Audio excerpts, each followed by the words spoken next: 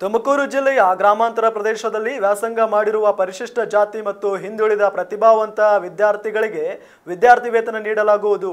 ದಂಡಿನ ಶಿವರ foundation trust ವತಿಯಿಂದ ಈ ಒಂದು ಪ್ರಕ್ರಿಯೆಯನ್ನು ಪ್ರಾರಂಭಿಸಲಾಗಿದೆ. ಇದಕ್ಕೆ ಮ್ಯಾಟ್ರಿಕ್ನಲ್ಲಿ ಶೇಕಡ ಎಂಬತ್ತೈದು ಪರ್ಸೆಂಟ್ ಅಂಕ ಪಡೆದ ವಿದ್ಯಾರ್ಥಿಗಳು ಅರ್ಹರಾಗಿರುತ್ತಾರೆ. ಈ ಕಾರ್ಯವನ್ನ ದಂಡಿನ ಶಿವರ ಫೌಂಡೇಶನ್ ಟ್ರಸ್ಟ್ ನಡೆಸಿಕೊಂಡು ಬರುತ್ತಿದೆ. ಇದರ ಪತ್ರಿಕಾಗೋಷ್ಠಿಯನ್ನು ತುರುವೇಕೆರೆಯ ಪ್ರವಾಸಿ ಮಂದಿರದಲ್ಲಿ ಕರೆಯಲಾಗಿತ್ತು. ಈ ಕಾರ್ಯಕ್ರಮದಲ್ಲಿ ತುರುವೇಕೆರೆ ತಾಲೂಕು ಪತ್ರಕರ್ತರ ಅಧ್ಯಕ್ಷರಾದ ದೇವರಾಜ್ ಮತ್ತು ತುರುವೇಕೆರೆಯ ಎಲ್ಲಾ ಪತ್ರಿಕೆಯ ಪತ್ರಕರ್ತರು ಭಾಗವಹಿಸಿದ್ದರು.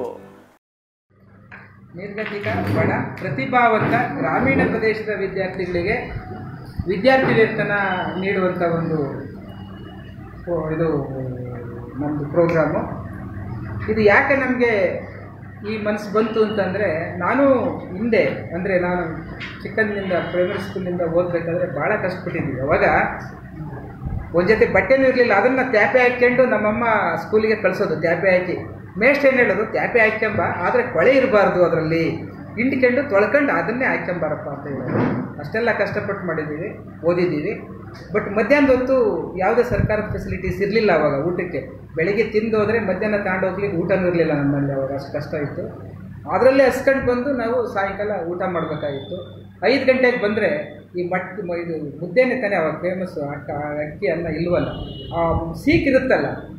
ಮಡಿಕೆ ಒಳಗೆ ಸೀಕಿಗೆ ಬೇಗ ಬಂದು ಸೀಕ್ನೆಲ್ಲ ಕಿತ್ಕೊಂಡು ನಾವು ತಿನ್ನಿವು. ಆವಾಗ ಹಸು ತಡೆಯೋಕ್ಕಾಗ್ತಿರ್ಲಿಲ್ಲ ಹುಡುಗರಲ್ವ, ಆಟ ಆಡ್ಕೊಂಡು ಬರೀವು ಹೊಟ್ಟೆ ಹಸಿಯೋದು, ತಿನ್ನಕ್ಕಿಲ್ಲ.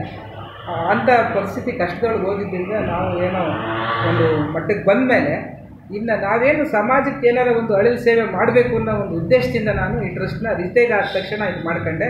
ನಮ್ಮ ಫ್ಯಾಮಿಲಿ ಟ್ರಸ್ಟ್ ಇದು. ಇದರಲ್ಲಿ ಏನು ಉದ್ದೇಶ ಅಂತಂದರೆ ಅದೇ ನಾನು ಮೊದಲೇ ಹೇಳಿದಂಗೆ ಬಡ ಮಕ್ಕಳಿಗೆ ನಾವು ಇದನ್ನು ವಿದ್ಯಾರ್ಥಿ ವೇತನ ನೀಡೋದೇ ಆಗಿದೆ.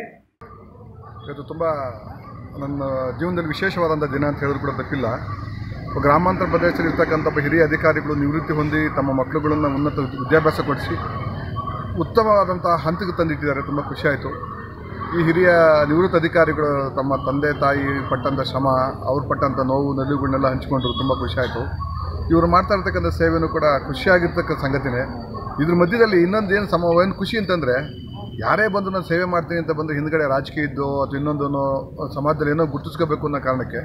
ಬಟ್ ಇವ್ರು ಕಳೆದ ನಾಲ್ಕು ವರ್ಷಗಳಿಂದನೂ ಕೂಡ ಬಡ ಬಡ ಜನರಿಗೆ ಸೇವೆ ಮಾಡಬೇಕು, ವಿದ್ಯಾರ್ಥಿಗಳಿಗೆ ಪ್ರೋತ್ಸಾಹ ಕೊಡಬೇಕು ಅಂತ ಹೋಗಿರ್ತಕ್ಕಂಥದ್ದು ತುಂಬ ಖುಷಿಯಾಯಿತು ಇವರ ಮಗ ಐ ಎಸ್ ಮಾಡಿದ್ದಾರೆ ಅವರೊಬ್ಬರು ಹಿರಿಯ ಅಧಿಕಾರಿಯಾಗಿದ್ದಾರೆ ಅಂತ ಕೇಳಿ ಇನ್ನೂ ಕೂಡ ಖುಷಿಯಾಯಿತು ತುರ್ವೇಕ ತಾಲೂಕಿನವರು ಒಬ್ಬ ಗ್ರಾಮಾಂತರ ಪ್ರದೇಶದ ಒಬ್ಬ ಹುಡುಗ ಒಂದು ರಾಜ, ದೇಶದ ಪ್ರಮುಖ ಹುದ್ದೆಯನ್ನು ಹೊಂದಿದ್ದಾರೆ.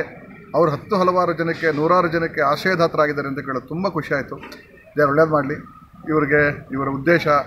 ಇನ್ನೊಬ್ಬ ಮಗ. ಇನ್ನೊಬ್ಬ ಮಗ ಇಲ್ಲಿ ತುರ್ಬೇಕರಲ್ಲಿ ಡಾಕ್ಟರ್ ಆಗಿದ್ದಾರೆ. ಅವರು ಕೂಡ ಒಂದ್ಸಲ ಭೇಟಿ ಮಾಡಿದಾಗ ಹೇಳಿದ್ರು ಗ್ರಾಮಾಂತರ ಪ್ರದೇಶ ಬಂದಿದ್ದೀನಿ ಸರ್ ನಮ್ಗೆ ಕಷ್ಟ ಆಗೋದು ಗೊತ್ತಿದೆ. ಬಡವರು ನೋವು ನಲುವುಗಳು ಏನು ಅಂತ ಗೊತ್ತಿದೆ ಸರ್. ನಾನು ಪ್ರಾಮಾಣಿಕ ಸೇವೆ ಮಾಡ್ತೀವಿ. ನಮಗೆ ದುಡ್ಡಿನ ಅವಶ್ಯಕತೆನೇ ಇಲ್ಲ. ದೇವ್ರ ದಯದಿಂದ ನಾವು ಕಲ್ತಿದ್ದೀವಿ. ವಿದ್ಯೆ ಇದೆ. ಇದನ್ನು ಸಾರ್ವಜನಿಕರಿಗೆ ಸಮಾಜಕ್ಕೆ ನೀಡಬೇಕು ಅನ್ನೋ ನಮ್ಮ ಮನ- ಅವರ ಮನೋಭಾವನ ಹೇಳಿದ್ರು. ಅದು ಕೂಡ ನಮ್ಗೆ ಖುಷಿಯಾಯಿತು ನಿಜವಾಗಿ ಇವ್ರ ಮಾತುಗಳು ಬೇರೆಯವರಿಗೆ ಒಂದು ಪ್ರೇರಣೆ ಮಾದರಿ ಅಂತ ನಾನು ನಾನು ಅದು ಕೂಡ ಭಾವಿಸ್ತೇನೆ. ದಂಡಿನ ಶಿವರ ತಿಮ್ಮೇಗೌಡ ಕನ್ನಡ ಟಿವಿ ತುರುವೇಕೆರೆ.